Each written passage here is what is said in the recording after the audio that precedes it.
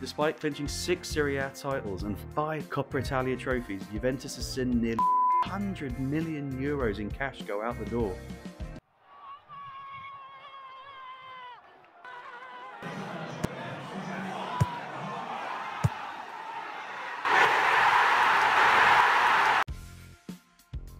Welcome to Numbers Behind the Net.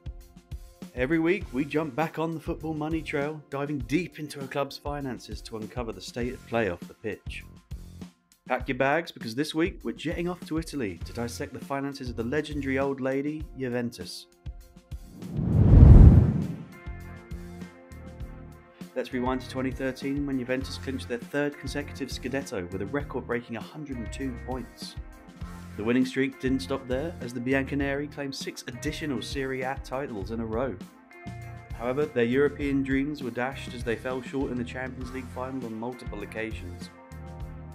In 2021, their historic nine season streak ended with consecutive fourth place finishes. The decade ended sourly, with the Juventus being docked 10 points for accounting irregularities, more on that later, and finishing 2023 in 7th place. Now let's turn our attention backstage. What unfolded behind the scenes? One thing to note is that Juventus includes income from transfer fees in their revenue. In all our other videos, we typically account for all transfer income and expenses in the profit and loss section, so we've adjusted accordingly. The Bianconeri's headline revenue experiences steady growth, reaching its peak in 2019. However, due to the impact of COVID 19 and a decline in performance, revenue saw a dip with 2023 finishing at 438 million euros. What's behind this decline? Let's dissect it by revenue type.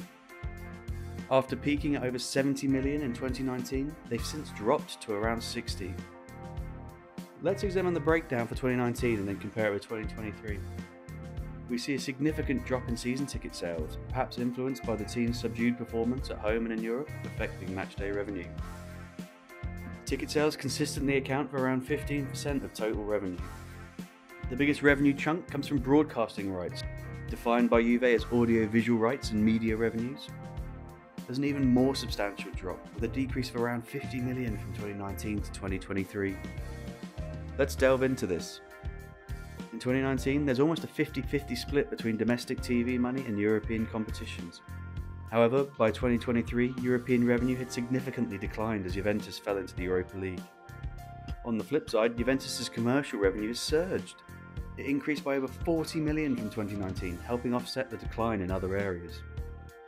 Despite their historic league titles, revenue fluctuates significantly based on league position, averaging at 385 million euros. Now let's compare Juventus' revenue to that of Premier League clubs. In 2022, we're still awaiting the 23 numbers in England. We mapped out the revenue for all Premier League teams in our financial showdown video. Let's see where Juve stands when we convert their revenue to pounds. Ooh, they're just outside the top six, and quite a distance from the top earners in the Prem. So it's a, it's a roller coaster in this emotional part. Now let's dive into the realm of profit. This is truly a tale of two halves. As Juventus stacked up league titles, profits soared until 2018, when the tide turned dramatically. By 2021, consecutive years of losses have escalated to over 200 million euros. Even during their league winning seasons, Juventus still experienced significant losses. However, the impact of fourth place finishes is enormous. Over the past decade, Juventus has been losing 45 million per year. What's happening? Be back to profit in just a sec, but if you're enjoying what we do here at Numbers Behind the Net, you'd be helping us out massively if you click that subscribe button, and you'll stay up to date with all our latest videos. Cheers for all your support, and now back to the P&L. Let's tackle this with our P&L walkthrough. Set that timer, grey out that revenue, and let's head straight to staff costs. We see wages steadily rising, peaking at the end of COVID and then dropping dramatically in 2023. Juventus breaks down these costs for us. While straight salaries peaked in 2019, bonuses were much more prominent in 2021 and 2022, despite Juventus performing worse on the pitch. It's a complex situation to decipher, but during the COVID delays, the club agreed to waive and defer salaries to be later compensated with bonuses once order was restored on the pitch.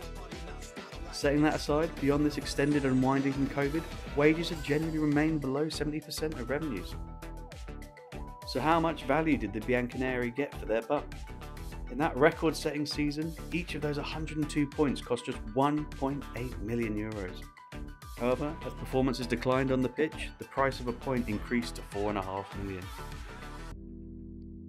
After staff costs, though, the picture looked positive. Now let's talk about operating costs. These are also hefty. In fact, over 10 years, these expenses have more than doubled to over 150 million euros. Usually, we don't delve into this area in detail, but we have plenty information in this case. First, let's break down the major categories in 2014 to understand what we're dealing with. Infrastructure costs are the most significant, covering stadium security, maintenance, and cleaning expenses. Professional fees encompass everything from legal counsel, insurance, and sports consultants to other club advisors. Logistics pertain to away day travel arrangements, including accommodation, transportation, and meals, Player registrations include loan fees and everyone's favourite, agents' fees.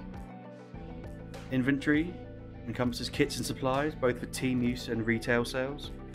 And finally, other expenses encompasses everything else, representing a wide range of items. So how has this cost base evolved up to 2023? Professional fees have skyrocketed to over 30 million, while logistics have more than doubled. There have been substantial increases across the board, particularly in that other category, this increase is partly attributed to Juventus having to allocate funds for penalties and fees as part of the recent 10 million euro settlement. The operational size of the old lady is substantial. And accounting for these, we can already see the decline in profitability taking shape. Stadium and facilities expenses include the capitalised costs of long term assets such as the Allianz Stadium. However, these expenses are relatively small in the grand scheme of things, so let's discuss transfer fees. Look at those costs over the last three years.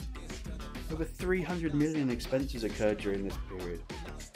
Conversely, 2017 sees a hefty green profit, driven by the sale of Paul Pogba to Man United for over 100 million. This is the area of the profit and loss that Juve got docked 10 points. So what did Juve get in trouble for?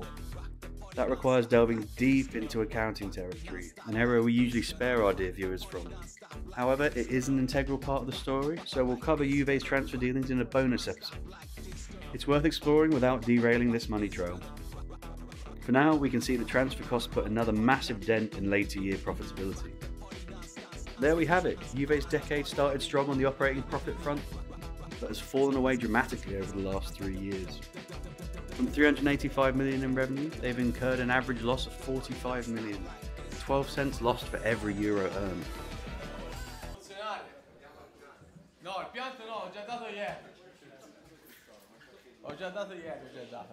Basta. No. As always, we're examining the combination of cash from operations and transfer fees. Cash from operations, influenced by EBITDA line items, mirrors the P&L.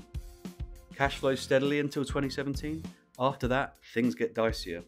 However, those early years win out, with an average of 18 million brought in by the Bianconeri. Now, let's refocus on transfers. Apart from that Pogba deal in 2017, there's been net transfer spending every year with dramatic outflows in 2018 to 20. Over 10 years, Juventus has spent just under 700 million euros, averaging 70 million annually. Now, when we combine these amounts, things look promising initially. However, aside from 2018, the cash outflows have soared. In five out of the six years, Juventus spent over 100 million, Despite clinching six Serie A titles and five Coppa Italia trophies, Juventus has seen nearly 600 million euros in cash go out the door.